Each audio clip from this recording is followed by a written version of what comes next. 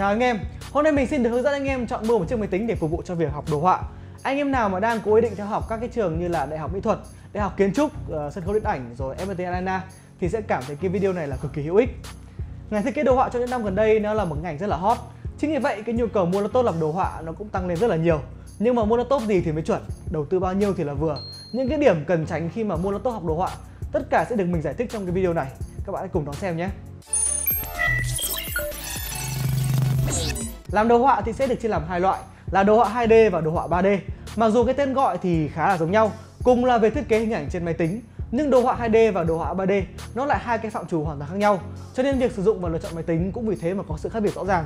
Đầu tiên là chúng ta sẽ nói về câu chuyện đồ họa 2D.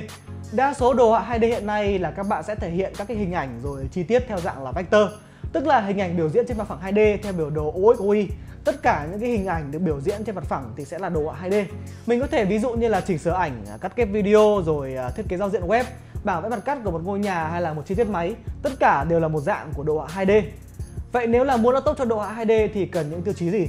Đầu tiên là về cấu hình.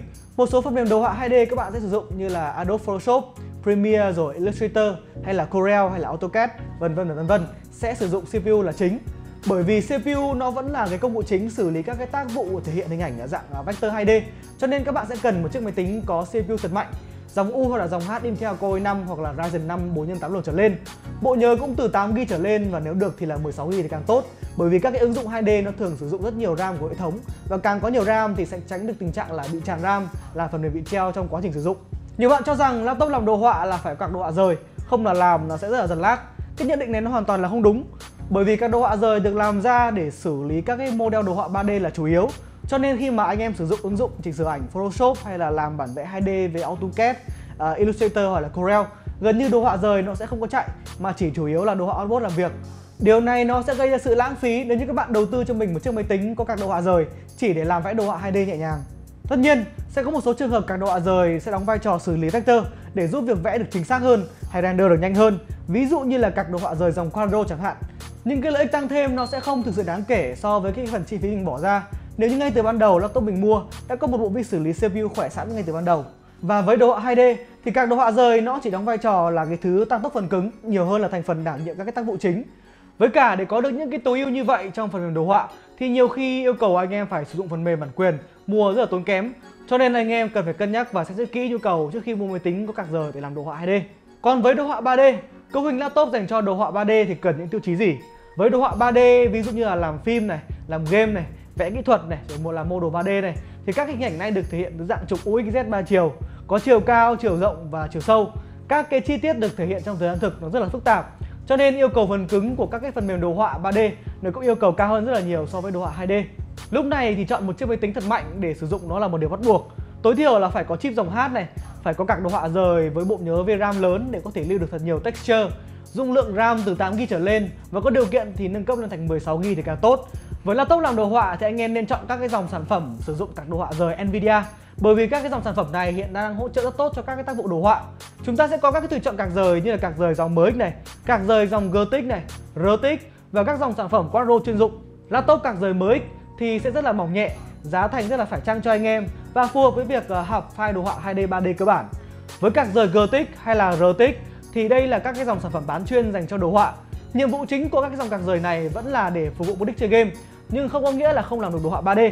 Anh em có thể cài đặt phiên bản driver đặc biệt là Nvidia Studio để biến chiếc máy của mình thành một sản phẩm làm việc tốt hơn với các ứng dụng đồ họa 3D chuyên nghiệp. Các cái dòng sản phẩm card đồ họa rời Quadro là dòng sản phẩm chuyên dụng dành cho các cái tác vụ đồ họa 3D. Bình thường chỉ có các cái dòng máy tính workstation đắt tiền mới sở hữu dòng card đồ họa rời này nếu kinh tế không thành vấn đề thì việc lựa chọn laptop chạy cạc rời Quadro luôn là giải pháp tối ưu nhất và tốt nhất cho mọi trường hợp sử dụng. Nhận định của mình thì để có được các yếu tố trên thì đầu tư nó cũng sẽ rất là tốn kém. Nếu đầu tư ngân sách thấp hơn thì anh em cần chú ý là sẽ phải hy sinh rất nhiều thứ. Ví dụ như là về màn hình, về cấu hình, về tản nhiệt, về chất lượng build hay là phải đi mua một chiếc máy tính có tuổi đời cũ. Cho nên nếu như anh em đầu tư quá ít tiền thì anh em sẽ không thể nào có cho mình một chiếc máy tính ngon. Nhưng nếu đầu tư được thì anh em sẽ có cho mình một cái bệ phóng khởi đầu rất là tốt trong quá trình học tập và làm đồ họa sau này. Tiếp theo là về màn hình. Với một ngành học liên quan rất nhiều đến việc sử dụng màu sắc như là thiết kế đồ họa thì anh em tuyệt đối không nên mua laptop sử dụng tấm nền TN. Màn hình công nghệ TN chỉ phù hợp với các tác vụ văn phòng, lướt web đọc báo chứ không hề phù hợp cho các tác vụ liên quan đến đồ họa. Bởi vì những laptop sử dụng tấm nền TN có độ phủ màu rất là thấp độ tương phản màu kém và có góc nhìn rất là hẹp. Màu sắc sẽ bị sai lệch nhiều khi nhìn ở một góc nghiêng nhất định. Anh em có thể thấy rõ sự khác biệt lớn giữa một màn hình tấm nền TN và một màn hình tấm nền IPS. Khả năng hiển thị của loại màn hình IPS hoàn toàn ăn đứt TN về mọi mặt. Cho nên là khi chọn mua máy tính mới, anh em cần phải kiểm tra chất lượng màn hình của máy trước khi chọn mua.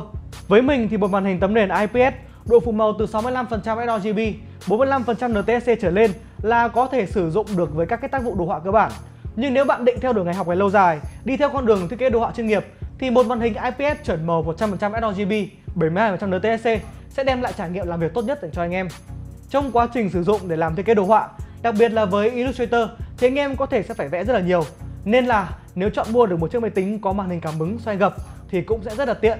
Nó sẽ tạo điều kiện cho anh em có thêm một cái phương thức nhập liệu tiện lợi ngoài phần bàn phím và chuột, nhanh chóng thể hiện ý tưởng của anh em mà không cần phải chuẩn bị bản vẽ Wacom. Nói tóm lại thì một chiếc máy tính có cấu hình đủ mạnh, màn hình bắt buộc phải là tấm nền IPS với độ phủ màu rộng sẽ là những cái tiêu chí các bạn nên quan tâm khi chọn mua cho mình một chiếc máy tính để làm đồ họa.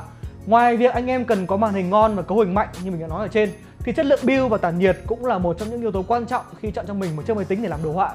Về mặt chất lượng build, vỏ máy phải thật sự cứng cáp bởi vì anh em sẽ phải liên tục bỏ máy trong ba lô để di chuyển cho nên sẽ không thể tránh khỏi chuyện laptop bị va đập hay là đè nén.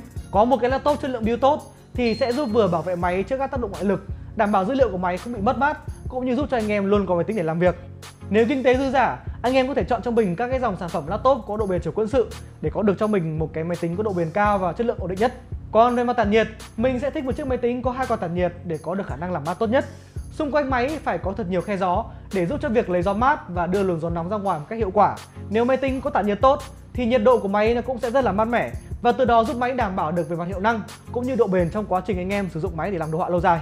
Vậy là các bạn đã hiểu được sự khác biệt giữa đồ họa 2D và đồ họa 3D cũng như những cái tiêu chí cụ thể dành cho những cái tác vụ nói trên. Thực sự mà nói thì cái khái niệm đồ họa nó rất là rộng lớn, và với mỗi sinh viên thì mỗi bạn sẽ có một cái nhu cầu sử dụng khác nhau. Cho nên là cái nhu cầu sử dụng nó sẽ ảnh hưởng rất nhiều đến việc chọn mua laptop. Miễn sao các bạn hãy chọn mua cho mình một chiếc laptop phù hợp nhất.